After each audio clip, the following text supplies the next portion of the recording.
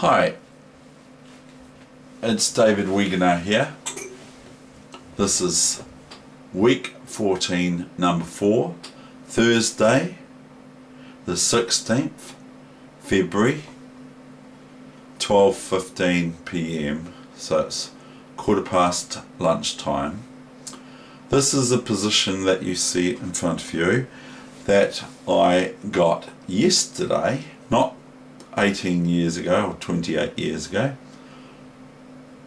This is a position I reached yesterday with my opponent that I just went to the Canterbury Chess Club just to go and have a peep, peek, and um, I was asked if I wanted to play in the tournament that had already had four rounds played or something like that.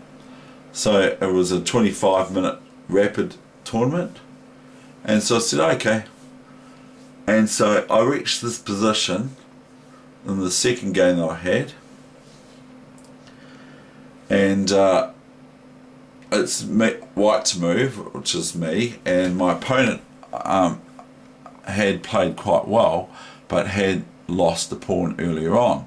But it's still not exactly um, a you know, it's a winning position for white, but it's not exactly um, foregone conclusion yet.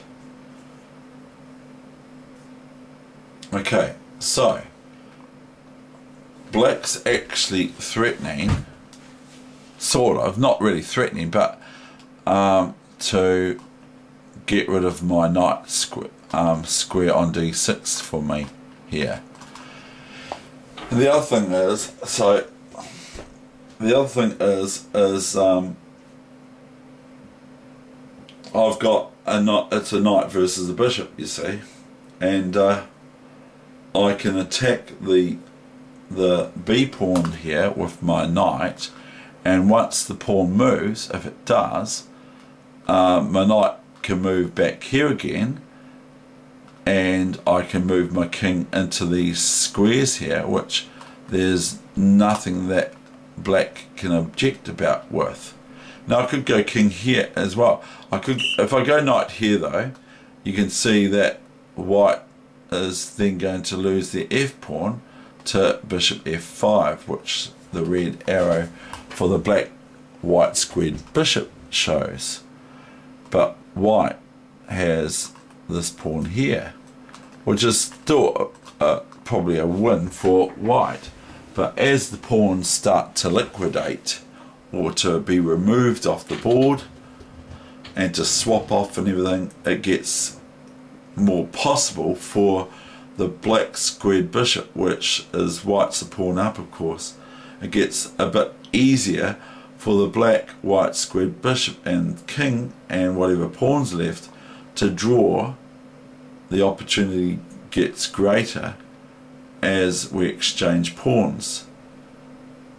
If we exchange pieces here, if we haven't got a knight or bishop, then this is, for me, without looking at it in detail too much, a, a quick win for white. Because white would just um, seek to create a black square entry point for their king. This is um, what I say and what I don't say. This is what I've learned from my reading books and things like that on endgames is that in endgames you scheme. You do not start to think big long combinations anymore. You can, you can play combinations, of course, but you do not think in combination terms anymore. You think in um, you think in schemes. Now, my scheme for white would be I want to get an entry point for my king here on c5, which is that square there. If you don't see my mouse, I want to get an entry point there. So my scheme would be if there was no knight or bishop, but it was just the kings and and the pawns in this position, which I can show you, um, I would scheme to get rid of this protective pawn for c5. It's protecting me. Uh, it's protecting black's um, c5. That pawn is. So I want to get rid of it. Now there's two things that can happen here. One is that black can, if I go a4, can go c5. Okay, they can do that. But then I've got my entry points. Um, I can either ignore it, the c5 move.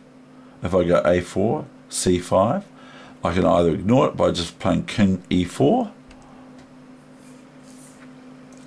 and then um, I'm threatening king here.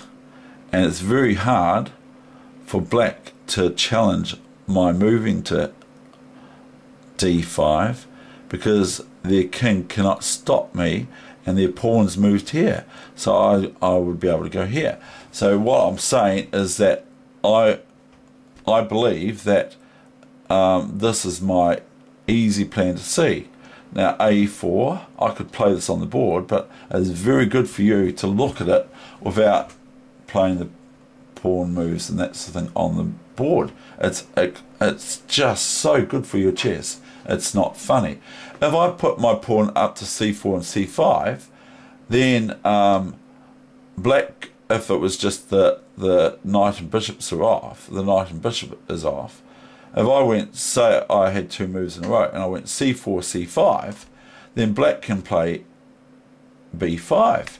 And then my king has got um, harder and more difficulty in getting in there because the the position would be um, this and this white pawn would be up on c5 which is quite good to have a pawn on the fifth rank for white like that's the thing. I can't get the mouse to do th two things at once, but um, you can just imagine if this pawn's here, where am I going to enter with my king?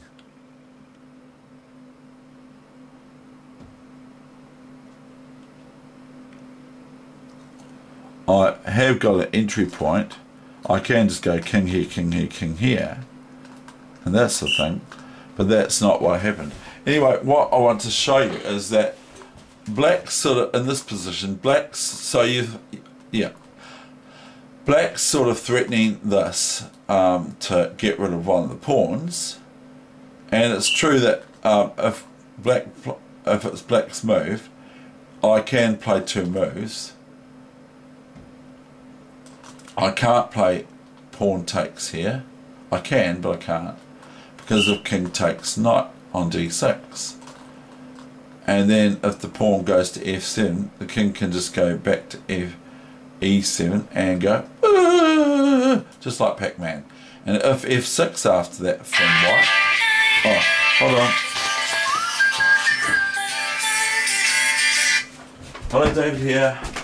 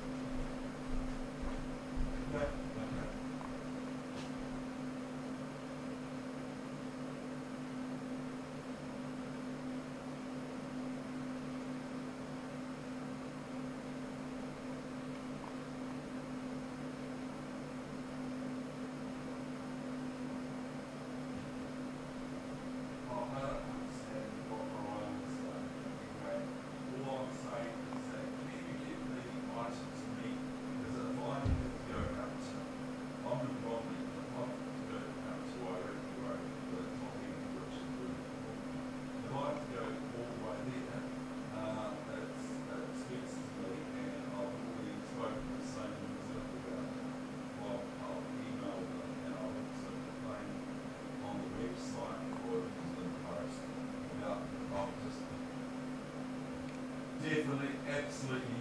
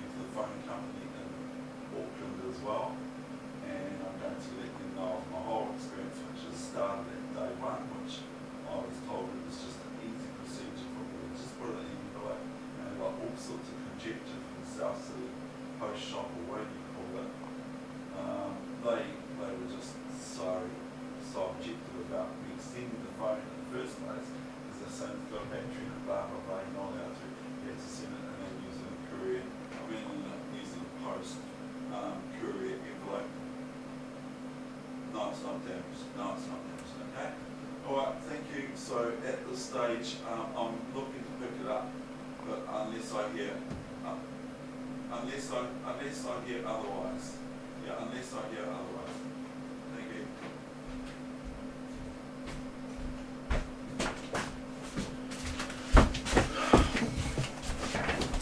Right, so sorry about that. Um, just a, a phone delivery issue, that's all. Anyway, so um, I will show you what happened. I played f6 because I thought, well, if he goes here, I'm just about going to checkmate him with king here, knight here, and knight here, checkmate, which is quite cool. It's like a, a problem I showed a wee while back. I was just going to play king f4 though. And uh, black cannot leave this here, and has all of a sudden got problems with um, with um, their bishop and other.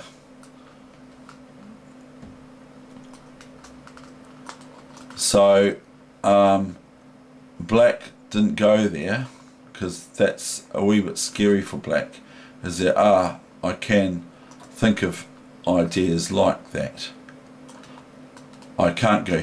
I can go here, but then I can get this up me. You see, c5,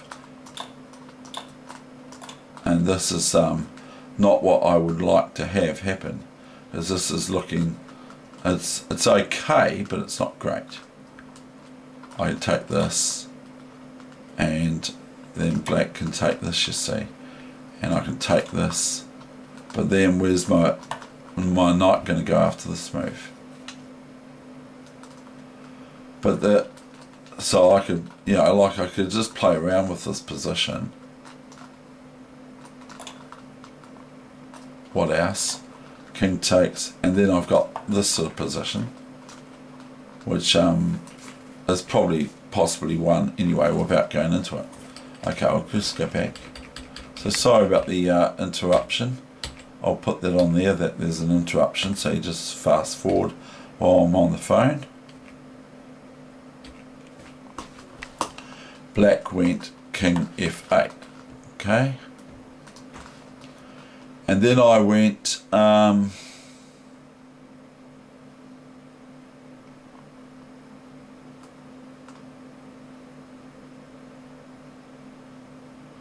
I probably went did I go a4 yeah I think it did. And black went No, it didn't go A4. Um,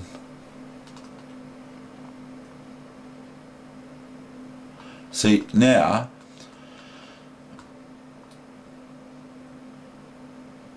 black has to watch um, this square here for my knight to attack this pawn.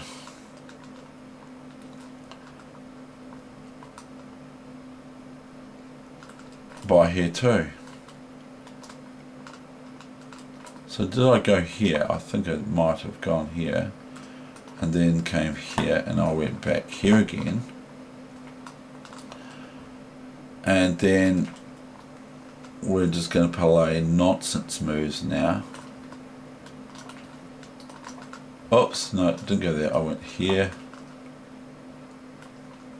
and here, and here.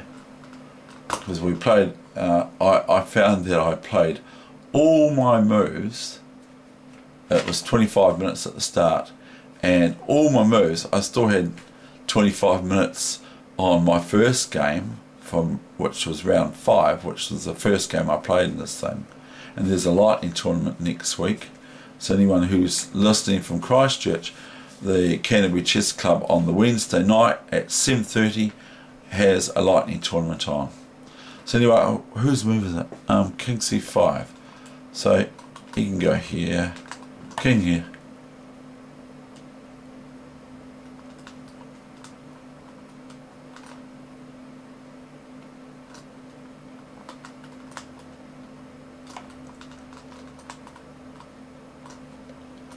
Now I came up with this. He went here and I went here. And um, there's no rush to take the pawns, but have a look at this. See? There's, even if black plays this, all my, every single thing I, I own as white, for the meantime, it's like a house. You only own a house till you die or till you sell it or whatever, or till it's taken off you, blah blah blah. But um, like a house, you you don't actually get to own the property forever because if you die and no one is there to take over the house from you that you leave it to, the house uh, inevitably sells to someone else and so you don't actually ever ever own it completely and that's like um, I don't own these pieces as white because I might play black next time. But um, yeah, whatever. I'm just starting to waffle. But have a look at this. Black hasn't got any moves for their king. Uh, like up here, up here, up here, up here. Can't move there because I've and all my bits are on black squares and there's no rush because I'm way ahead of time for one thing there's no rush. So I scheme. What am I going to do? Okay, I take this and I was going to go king a5 and a4 and then we get pawn takes, king takes or we get bishop here. I could show you all this. But anyway, here we've got this. So let's just say black plays this. I take this. Okay? And then king comes back here. I, I was going to eventually, I was going to do this and play a4 and then move my king like and if the pawn I was going to play this. We'll just play this for example. Now black's got this move too. And I have to take this. I can't move away here because all of a sudden black will be winning because they will go pawn takes pawn. So can't go that. So I would be, other than move, short of moving my knight, say here, which I don't want to, or my pawn here, which I sort of don't want to either, because it gives white, black a target on h5 to maybe eventually attack in compensation for losing a pawn somewhere else. So I, I, I thought against this because this, for one thing, white can't start to move their king anywhere, like forward, can't go there, can't go here, can't go on its own pawn. So it goes up here or here to advance this pawn, you see. If it goes here, it's even worse for white because um, the pawn takes with check and then just goes a3, a2, a1, queen, rook, knight, whatever, who cares, bishop. So white would be um, not having to do anything here, but if they do anything here, strongly advise for white pawn takes pawn. Now, this then would be met by pawn takes here or bishop takes here.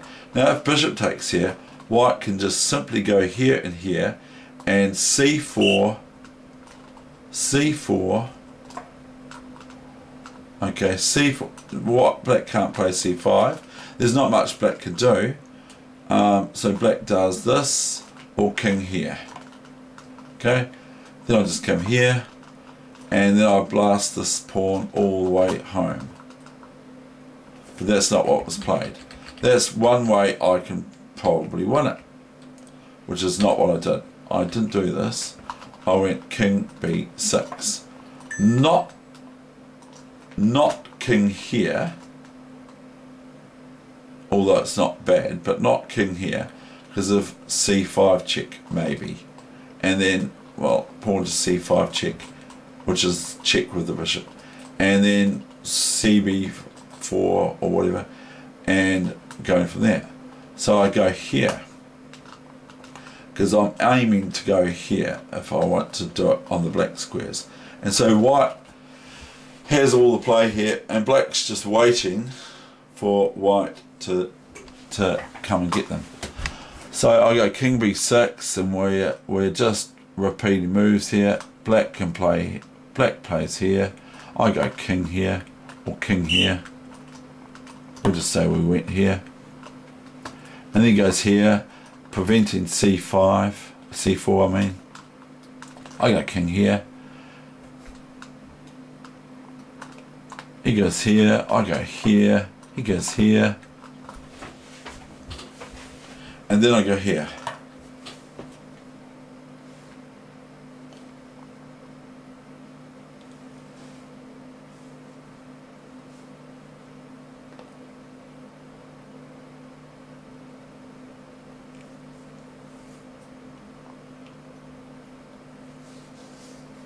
Now, I look. Oh, another phone call. Well, I'm here. Here you go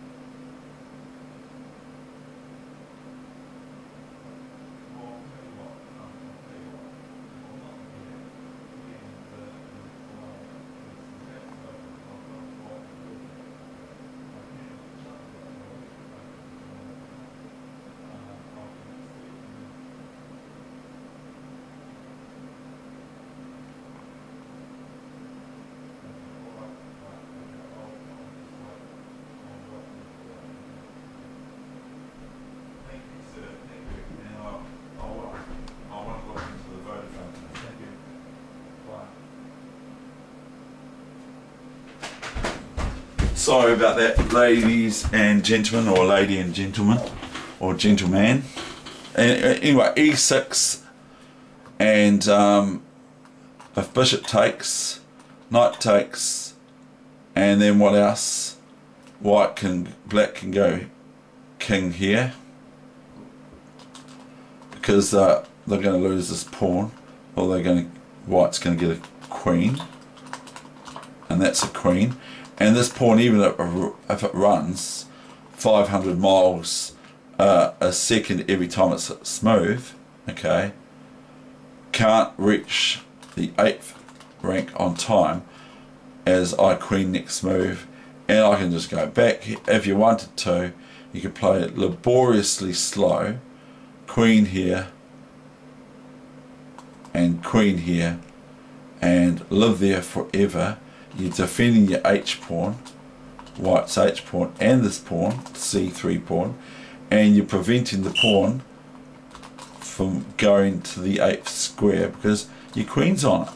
So even if you wanted to do that so this is a big win for white you see. My opponent what did he play? He played this and then I played this wee start though. A wee nice move because now um, white has to relinquish black has to relinquish the defense of this f7 pawn you see. And I want to just show you firstly after e6 this move okay? New variation f7 and it's all over now baby blue. And now if um if king takes knight then just f8 queen. Okay king here. And uh queen can come here if it wants doesn't matter. Whatever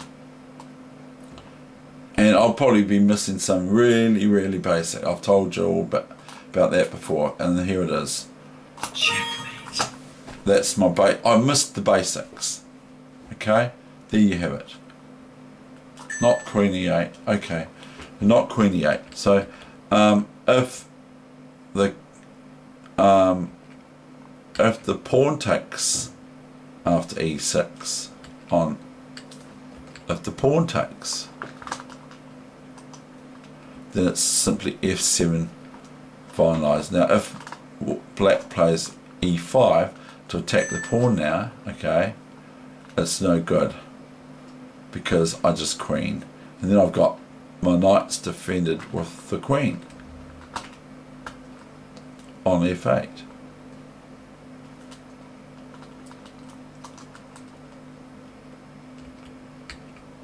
So that's a bit of a good move for white. So black just plays bishop here. They played bishop c4. And I thought, oh yeah, h5. And I'm going to be honest with you here. After this move, he plays king h7, you see. And all of a sudden I started getting all these horrible thoughts that, oh, hang on. Um, as soon as I take, as soon as I take this pawn, black merely takes the pawn back with the bishop because I thought white has stalemated black. And I forgot because this pawn was um, not there or something. But then white stalemated black. But black's got these two moves here. So anyway he moved I um, I moved h5 check king h7 and I went pawn takes and then I think he went bishop takes and I went king takes. And he yeah he went here. And I'm being careful not to give him a draw because it's easy for me to do that like this. Um, how can I give, show you a draw? I can just about checkmate him. If I can get my knight here and here and here it's just you know an eternal amount of checks but anyway, I went here, he went here, here, here, here, here, queen, and he went king takes. and I went queen take here. And he's still played on. And I just went king takes or something like that. I don't know. Or, or I went queen here and just king takes and he resigned. As he should so that's that game. And now I'm going to show you how it all started. So with the phone calls it's happened that with the phone calls that have happened because of my phone not coming back my this is only a replacement phone at the moment. But with my phone not coming back yet from Auckland to Christchurch it's late and it's got held up I've now got um, I've now got uh, this session being a bit longer than I even anticipated. I should have turned the phone off, but then I would have missed the calls. Okay, so this is the game how it started, and my opponent remembered a lot of the moves. I had to, he had to remind me what had actually occurred. So here we got the typical classical Spanish opening. They were trying to deliver to another address and they said the gates were bolted and shut and there was no access and all that stuff. I went, what? What a load of rubbish. Here is the wall. The wall, or if I'm probably saying it wrong, because I have always loved saying the words that have L's in it. Not L's like the birds, but L's. And, and I've always had difficulty with it, possibly because I could blame I was brought up under Dutch parents, but possibly not. So I've always had an issue with saying the L word or words with it, the letter. Bishop d4, c3, bishop b6. I quite like this, but I, I have to move this rook back here soon after.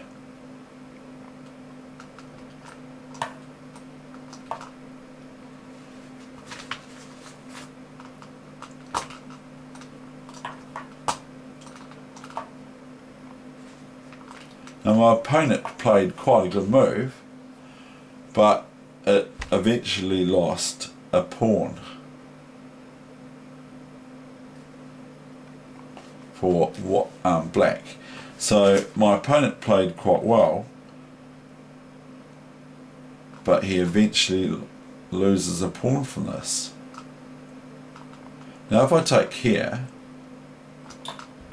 he just plays here. And if I take this, which is possible, he can take the queen back, you see.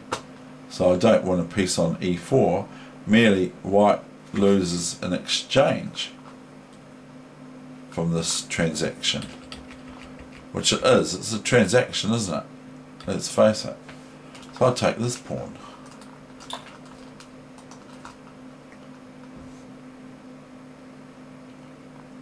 Now if black now plays pawn takes pawn here, I go pawn takes here, rook here, is okay, you know, it's, a, some playful um, black here, and white has to be careful at the same time too. As if I go here, black can play this.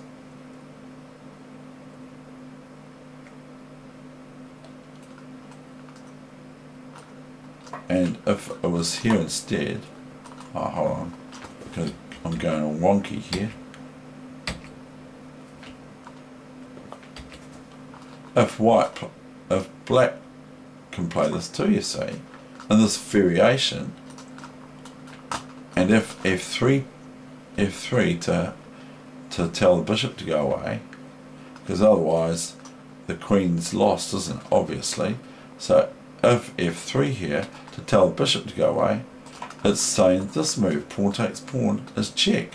But that's no good. It's better to go here, check. Way better. The computer is giving this move here is dc3 check.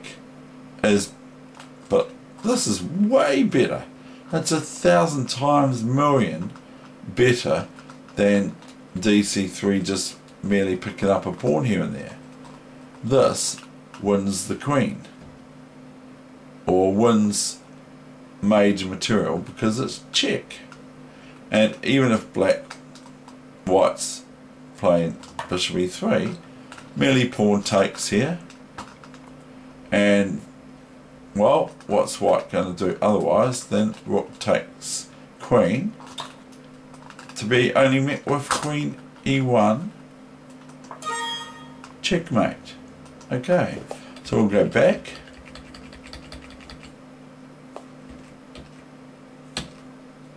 So d5 is quite a good move.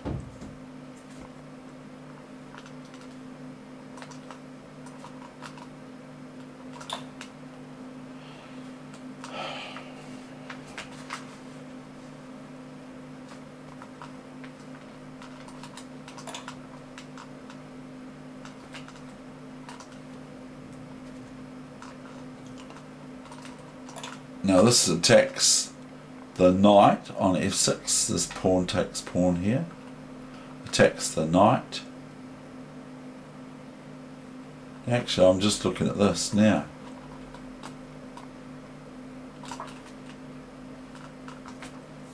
Because um, white cannot play f3, can they? And you can see why not. Because so white's, white's move after bishop g4. White cannot play f3 to to stop this attack on their queen as it's checked with the bishop. So um, this is another move that I've just found. I'm going to have to write that one down. That's quite interesting. My opponent played at a pretty reasonable move anyway. But I'm going to have to write that one down.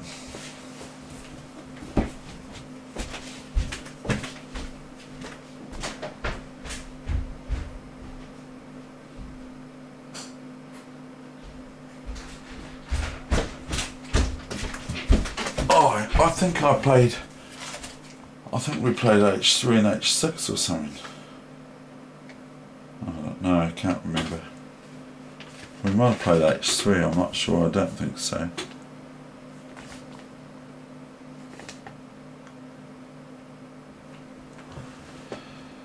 Uh, so we got Queen e5, d5.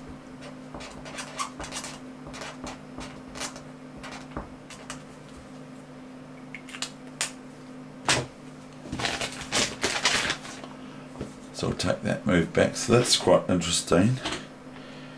And then black's developed too. Black's all developed. He went queen e4.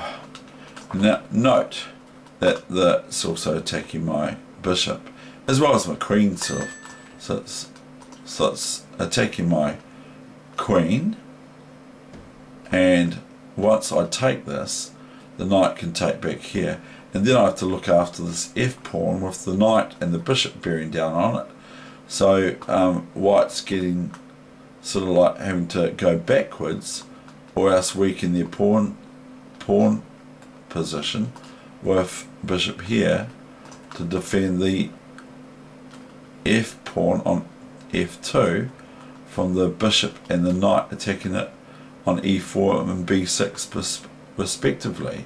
So, um, but anyway, I've got nothing else to do because I have to look after one, this pawn on e5 that I've worked so hard to get and to so defend it at least. And I also have to watch my bishop on a4 so as I'm trying to say I can't I can go here but then it shows black just takes the e pawn and I'm starting to look equal again so take this take this and go here. It's a wee bit greedy, I know. A wee bit greedy. Let's face it. David Wegener's been a wee bit greedy here. Then goes bishop g4. And go bishop c2. he goes knight c5. I go rook e1. And rook a d8.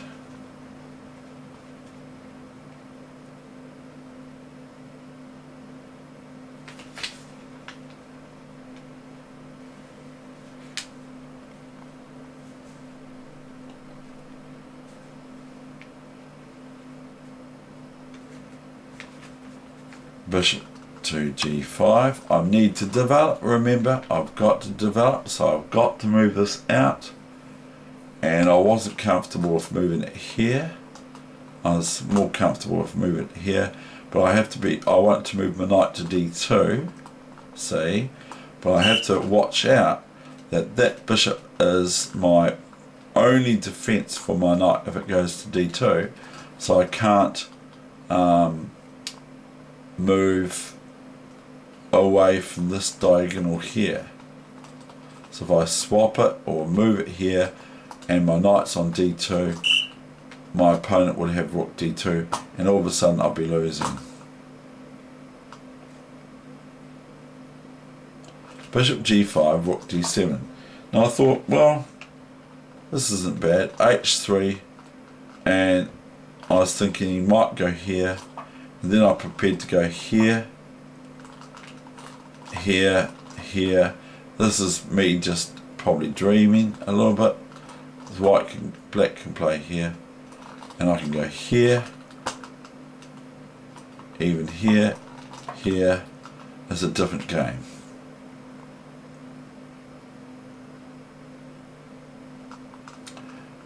But it's it's a bit of nonsense, really to be absolutely honest with you because I can threaten this. After bishop back here. I can threaten this but I'm not doing what I'm telling you to do is develop as I'm defending this b pawn now. And so it's a wee bit greedy but I, I had wee little thoughts of pushing things and trying to trap things or whatever. And I thought to myself I've lost games like that where I've pushed um, pushed to um, roll my opponent over decisively and aggressively whereas I just need to just play nice and calm chess. And that's what I believe I did. But it's all gobbledygook what I'm saying anyway. Is black played bishop e6 then I played knight d2 as I've already mentioned about that. And my opponent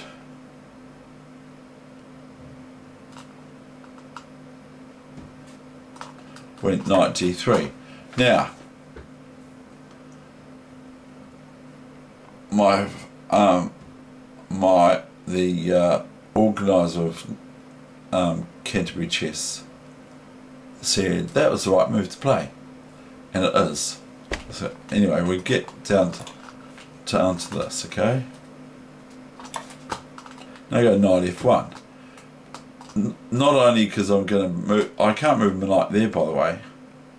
If I do knight f1, I can't move it here. Can you see why not? If it was my move here, my knight's here, okay? Now, can why can't I move my knight to here if it was my move? That's my wee problem for you.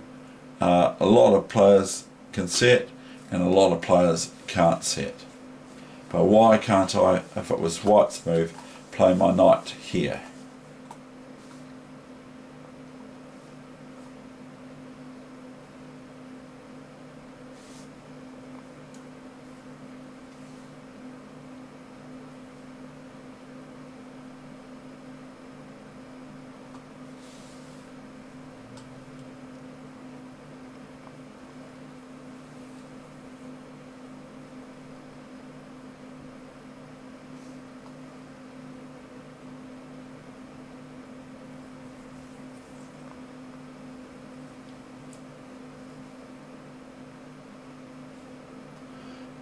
Right, here's the answer.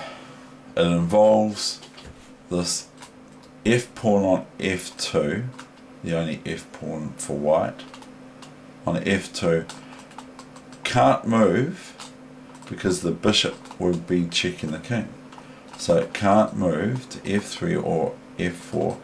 So this knight is not defended in this actual position because because it's like it's not got anything protecting it because the knight has no um, defense so black would merely play rook takes knight g3 rook g3 and the pawn cannot take the rook back because it's check with the bishop. So if it was white's move and they played knight here I'm going to give you a wee analysis here just to show you over the board. So knight here we'll just say we'll just say that black plays knight bishop c5 okay knight g3 see the see the red arrow? See the red arrow? The computer sees it straight away and then I'll go and show you some analysis. Now some people might say well I'll play this here so that the rook has to take else white takes this bishop. So rook would take the bishop. That would be a uh, incorrect move for black to play. Black retains the pin on the f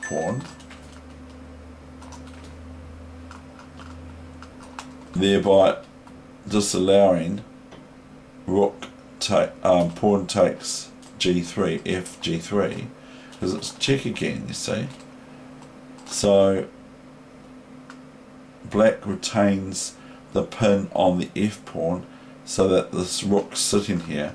Now say for instance white did something remarkably stupid which I'm not wanting to do then white has to play this you see. This is what's beautiful about chess. Not that this is all that's beautiful about chess. I've got a move for white, by the way, here in this given situation, which gets the piece back. Even though it's a bit of nonsense, this whole line, white can play king here, thereby attacking both the rook and the bishop.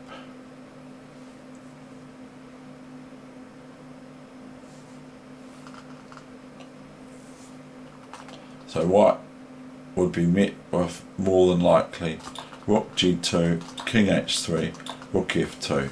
And if this rook decides to attack the bishop, it'll just merely go away. And then all of a sudden white's faced with a lost position or at least, yeah, no, just a lost position, piece down. Um, got four pawns versus six pawns, absolute loss in the end game. So anyway, we'll go back to the actual game and then, because we're just analysing stuff here, we're making things up. So here's this position here, knight f1. And then I'll have to go because otherwise everyone who looks at this will say, oh, that's an hour or something long. That's right. So what you can do with the, when I get the phone calls, is you can fast forward or whatever you can do or you can look at it next week or when you get time or whatever, it doesn't matter. H6 and then this is the new main line, bishop e3. Now what I'm doing here is I'm trying to get rid of this good bishop of blacks because this is their good bishop and I'm thinking a wee bit ahead because of these um, coaching sessions. They're making me think about the basics what I've said the All Blacks learn. They learn the basics. And the other thing is, is that, um, so anyway, I'm wanting to get rid of this um, good bishop of black, because this is their not so good bishop, but this is definitely not a good bishop. If I had a white squared bishop and a black squared bishop, my white squared bishop is better because of that pawn on e5 and thereby you've seen the end game. I ended up with pawns on these black squares, and I ended up putting all my pieces on black squares too. Apart from the h5 move and e6 move. So black swaps off. Otherwise, what are they going to do? c5 or have me play bishop b6. If they go bishop here, the computer's saying that I can just take this. Well, that's the Bobby Fischer mistake. Because now I've got to meet rook or parry the threat of rook a8, winning my bishop for two pawns, which I'm not happy with. And this pawn's going to drop possibly soon too, or black's going to have a whole piece up. So anyway, my opponent didn't even do that. My opponent went bishop takes. Rook takes. Now notice that this knight is covering my 7th rank square because if white is met with a rook being able to enter onto the 7th rank which is its one of its prime or um, dream positions to get to the 7th rank. I merely take it with my knight on f1 knight d2 so I'm not taking with my knight here because if I do I have to meet this. And then I have to start defending and I've already spoken about what happens when you defend. You the the advantage switch to the person who generally speaking of course switches to the person that's the aggressor. So I took here offering a rook swap at least or for the rook to move away. And if the rook doesn't do anything I just win it obviously. It's obvious to me and it's obvious to a lot of play players even yourself. And one guy I was playing for the the Canterbury Chess Club in Lightning yesterday he sits there and he starts to put himself down. He ended up on the top board for the last round. So um, even though it was just a small wee tournament, like about 12 people in it, or 13 with me there, even though that was the case, he was putting himself down, his own chess playing. He was putting his chess playing down. Now, it's, it's all very well to notice your weaknesses, but if your weakness is putting your play down, lose it. And that's what I said to him. I'm not comfortable with you. I, I feel enough about chess players and generally just the Joe public, just people at all. I feel enough to not have them put themselves down. Um, and we played about um, six games or five games or something like that. and I lost um, the first game to him after he has said to me, oh, I don't expect to be able to get, you know, like, it could be table talk, but I thought he meant it, and he did. But the thing is, is he said, oh, look, um, don't expect to have me win any games because you'll win all the whole lot there because he knew who, who I was he knew that I was somebody in lightning chess anyway. And so, but I, I told him, do not put yourself down because you actually start to project that in your play and you're, you're, uh, you, you just become weaker than you might be able to play. It's just like confidence is important, but not overly, not ego artistically too much, but confidence is very important.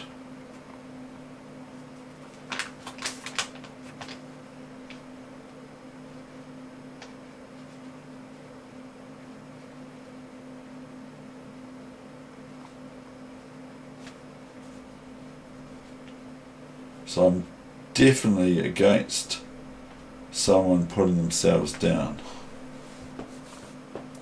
Anyway, this is going to be now the final of the session. I thought this is quite an instructive endgame, which has had the interruptions of two phone calls from the same person.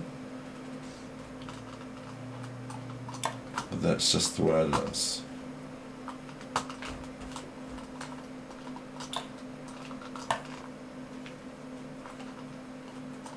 Now, if black was, if black had um,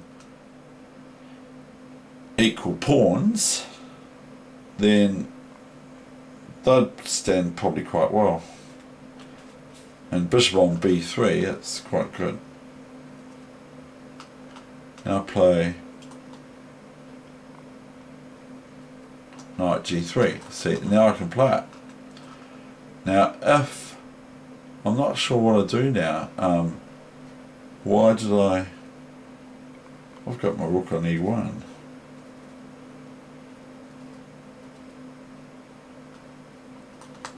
Because I've got my rook on here. So, oh yeah, that's right, king f8. No, that wasn't. Black played rook d1, you see. And I just chopped at the bit there because I know this is great.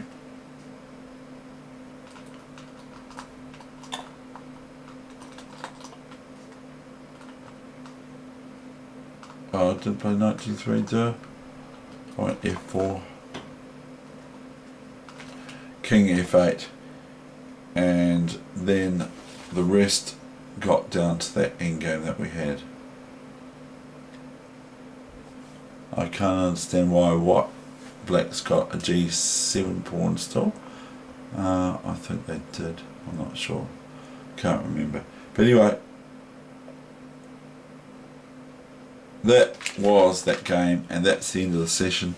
I'm sorry very much for the interruptions but I can't pause my video thing so um, I'm, I might look into whether I can get one that does that function or if I can um, edit the video from when I have a phone call. Okay, thank you very much. And so I'm going to reiterate on purpose because the All Blacks get repetition all the time from their coach. They probably get sick of the coach, but they know the coach has got their best interests at heart, which actually is the name of one coach from New Zealand, Hart, H-A-R-T, I believe. But I'm not an expert on rugby. I'm a reasonably good player at chess. So I'm going to reiterate the following. Not that I'm saying play your own openings or whatever, but at the same time I am, play your own openings, the ones that you do well in. So I'm going to reiterate play your own openings that you do well in, not the ones that you love, but you you just um, lose every single game. You get half a point out of 25 games. You you get a draw out of 25 games that you play this opening. And I'm not saying not to learn your openings or your theories and all that sort of thing, but I'm saying primarily play your own move and paint your own picture on the chessboard. And then as well as that, especially in lightning chess I find this very good, play the first move that comes into your head. Okay, that's David Wegener over and out. So this is week 14, number 4 session, Thursday. Thank you very much. Bye-bye.